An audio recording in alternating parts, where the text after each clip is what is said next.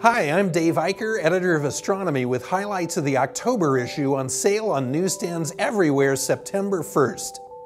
This month, we learn about the incredible discoveries being made on Saturn's largest moon, Titan, with its mysterious seas and magic islands.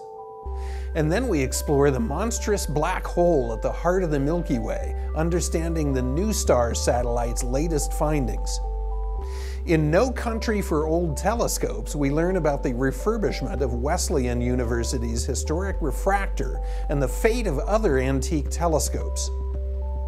10 Classic Telescopes Remembered revisits great observing scopes of the 1960s, 70s, and 80s. We go around the world in eight incredible star parties. We also peek in on the astronomy outreach movement for adults who may be rediscovering their love of the sky.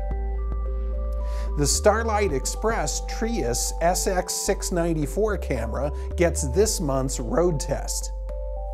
The usual features are all there too, including quantum gravity, the sky this month, Ask Astro, Reader Gallery, new products, and Jeff Hester on climate change, Bob Berman on planetary lineups, Glenn Chaple on brightness, Steve O'Meara on the doppelganger effect, Adam Block on stray light, and Erika Rix on solar prominences.